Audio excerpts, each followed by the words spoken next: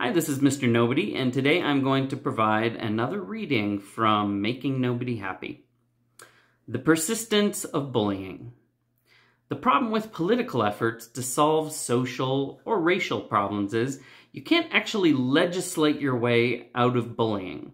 If you eradicate one kind of distinction, it just becomes something else. It's a blue dot problem. The pattern persists. People just find new tokens. You can't escape it by fiat. You can only learn to live above it. I got bullied all the way from kindergarten through high school. It was probably worst in middle school, and that seems to be the case for almost everyone. I can see why I got it. I definitely stuck out. Um, maybe today I would have been bullied less, or maybe I would have become a bully. It's hard to say. The players change, the rules change, the equipment used changes, but the game goes on. You can't majoritize everything. You can't make everyone and everything enjoy the benefits of invisibility that come from being part of the majority. Everything can't be the center. And anything that picks you out from the herd makes you a potential target for predators. You generally solve these problems as you get further in life and become able to self-select your own group. It doesn't matter that you're a huge nerd if you self-select in high school into a group of all nerds. That ceases being something that picks you out and instead becomes something that makes you blend in. It's zebra camouflage. They don't blend into the savannah, they blend into one another. You might get predated on for something else, or even by a new internal predator if one exists in your group. But you can't be predated upon for the item that picks you out because it can't be used to pick you out from the group. Some things are really easy to pick out, like race or height or attractiveness or dress, but if you get rid of the easy to spot things, if that's even possible, people just find some other marker. That's the blue dot problem I spoke of. If you ask people to identify blue dots, and then you change uh, blue dots what you actually give them. People just redefine what they mean by a blue dot. They'll start defining blue dots as purple. They'll start drawing finer and finer distinctions. Uh, anyway, it's not like the benevolent leftists who are so uh, against certain types of bullying have social groups that are free from it. In fact, they're as rife with it as any group, maybe more so, because there's more careful and moralistic authoritarian internal policing bullying just becomes about something else, different markers, different camouflage.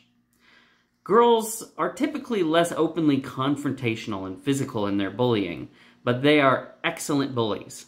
I've been bullied by them, and I have girls myself who bully each other sometimes, and they tell me about what goes on in their social lives at school.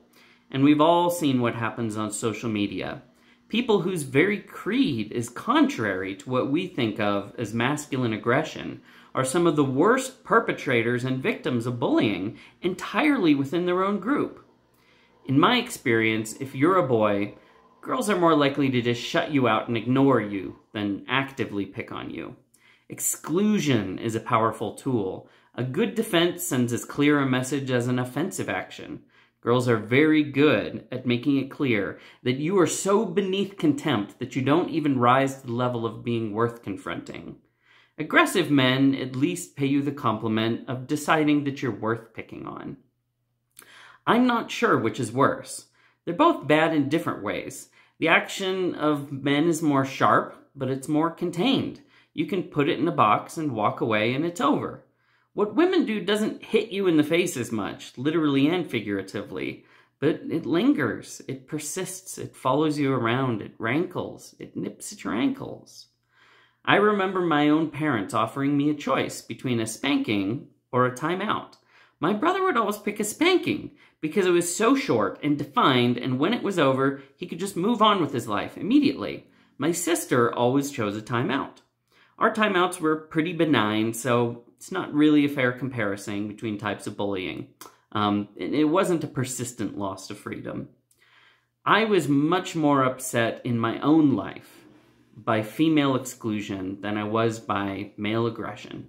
It was just words and violence that I got from the guys. I didn't believe them or agree with them, and they couldn't make me agree by any means. All they could do was act and talk like idiots. So I laughed it off.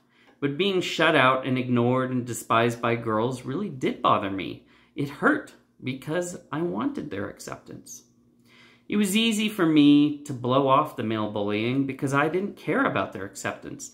The sort of guys who did it were clearly jerks looking for easy targets, and I didn't need the approval of jerks. I frequently told them so when we had encounters, and I know from talking to some of them later in life that although it drove some of them to attack me more, it also intimidated some of them. They knew that they wouldn't escape psychologically unscathed, and that, as far as I was concerned, I would. That made them think twice about picking on me. Ultimately, we have to put some fences around bullying, but it's not such an easy problem to solve as you might think. We can't make everyone be good by force. There are always going to be men and women who will engage in some form of bullying, physical or social. You can't legislate good character. And you can't close down all the possible avenues for bullying or majoritize everything. People would just shift their criteria to keep on with the same actions despite your efforts. It's not a shallow or a simple problem. It's a really deep one that emerges out of the basic conditions of humanity. That's why it's been an issue everywhere forever. That's why it's even an issue among non-human species. A vast amount of all the total activity of biological life on Earth could be classified, with some anthropomorphization, as bullying. We haven't developed any better responses than the limits of the law. We can't necessarily stop you, but we can punish you if you take it to this point of action, and the guidance and restraint of individual morality and character. It's a problem that has to be continually navigated, not one that you can just solve with a mandate or a structural change. It's a true problem. It's an emergent issue that has to be actively and complexly no negotiated as part of the messy business of life. That's all for today. I'll talk to you later.